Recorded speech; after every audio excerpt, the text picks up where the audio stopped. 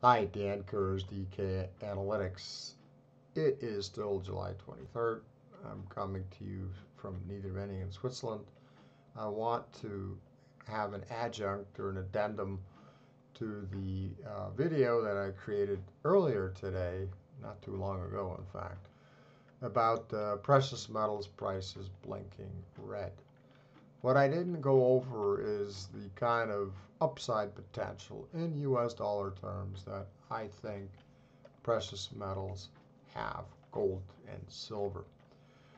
Uh, let's uh, go at this two ways. Let's say confidence in paper money, fiat money, counterfeit currency, because it's being printed way beyond value creation or economic growth for a long time and it's also financing the unfinanceable, the deficits and the, and, and the debt that otherwise would require much higher interest rates if the central banks the world didn't vacuum it all up. That's their monetary base bloat, right?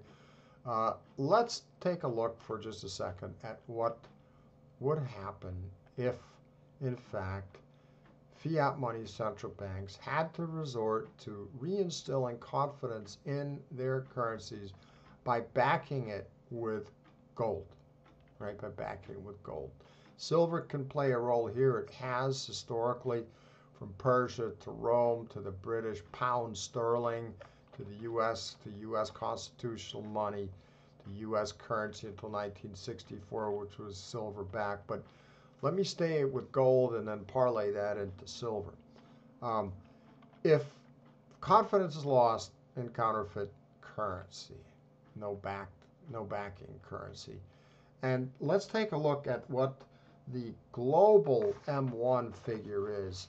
I get this by taking uh, the M1 statistics of leading nations uh, across the world, basically the leaders in Asia, uh, Japan, China, India, the EU, uh, the UK, the United States, uh, Russia, and Brazil. All right, and if you got all those and you you've got the majority of global GDP right there, um, you're looking at about 32.3 trillion dollars worth, convert them into dollars, of global M1. All right. And there's official sector reserves, that is government owned uh, gold, stood at 33,919 metric tons.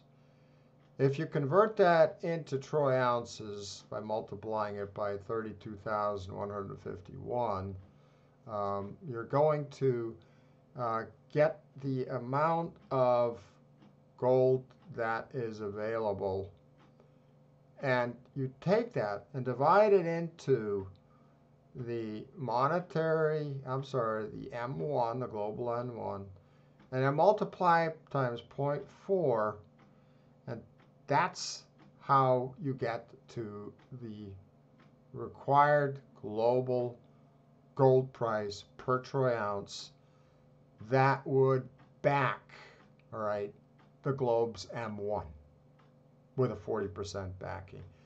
And when you divide that 32.3 trillion by the troy ounce equivalent of 33,919 metric tons in official sector reserves, uh, in essence, central bank ownership, you end up with $11,848 uh, gold price, right? And if you now take this and compare it with silver, which in the post monetary era of silver, silver uh, to gold ratio has been about 50 to 1. And, and let's say we go from a current 80, 82 to 1 to uh, say 50 to 1. We divide that 11,848 by 50 and we get a $236 silver price per troy ounce. And that is something that governments, central banks, really they're one and the same, sorry, but it's true, may have to resort to ultimately. I think they will because there is no other way out. Historically, it's always happened. Why should it be different this time? Well, take that as the necessity uh, plan or the uh, the ultimate response or the only response that's going to work. But what happens if investors take us to much higher levels before then, which I went over in a prior video?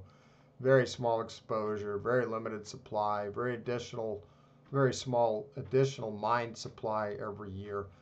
Um, but we also have something else, and people like to look back, and I'm going to focus in on silver here, to old highs. Now, not real price terms, but nominally stated. All right. The silver silver has had two, well, it's had a double top, close to fifty dollars a share. Once in 1980, the, the, the, the Hunt brothers' efforts to corner the silver price uh, then in 2011, I think, yes, it was 2011, also around 50. And if we can pierce what some people call a double top to the upside, we're going to have tremendous room to run much, much higher. And that room obviously will be even more expansive, assuming that uh, investors regain a sense of silver as a safe haven asset, as a monetary asset, which is bound to happen given its history. Uh, and, and for this reason, we've got two kind of bookends here. We've got the private market overwhelming manipulation, overwhelming ignorance, and we've got uh, the central banks that want to continue to control the world's monetary system, but can only do it if they do the unthinkable, and that is bring back gold backing. And then de facto, some places perhaps silver backing.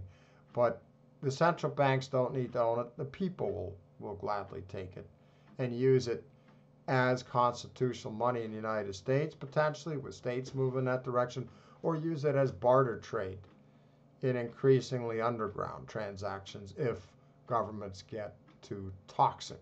Right. I wanted to add those two points in a, in a brief follow up video. And uh, I guess I want to call this, or should call it, Where Can Gold and Silver Prices Go?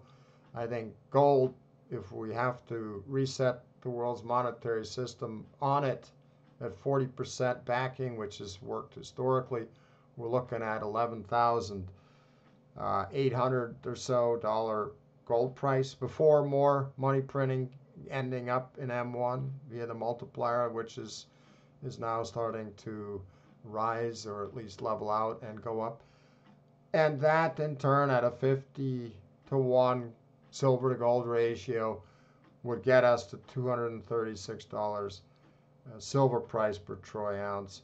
Recall that it comes out of the ground at 9 to 1 and historically, over 600 years during the British sterling, a silver backed currency, uh, silver traded roughly 10 to 15 times uh, gold. That is, I'm sorry, gold was 15, 10 to 15 times as valuable as silver, or you needed roughly 10 to 15 ounces of silver per ounce of gold.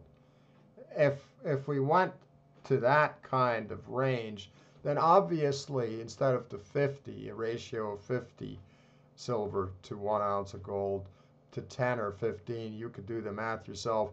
We would be well north of $236 per troy ounce that a 50 to 1 silver to gold ratio would bring, assuming the world had to resort back to gold backed money at a 40% M1 coverage ratio.